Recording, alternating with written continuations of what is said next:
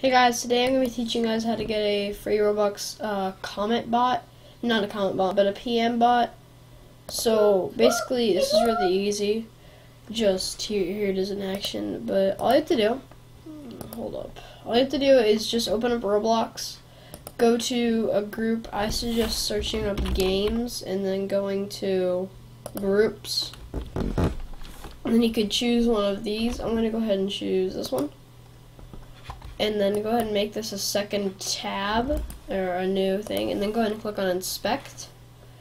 Go in the description uh, go in the description and it'll have this code uh, down here. Just go over here to console paste it and then leave everything the exact same and then put in your own message. It's right here. So subject is what you the subject you want to be and the body is what you want the body to be so then once you do this, all you have to do is just simplistically press enter.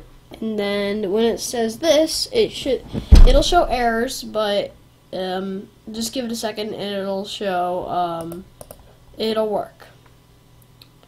So as you can see, it says sent message right here and sent message right here.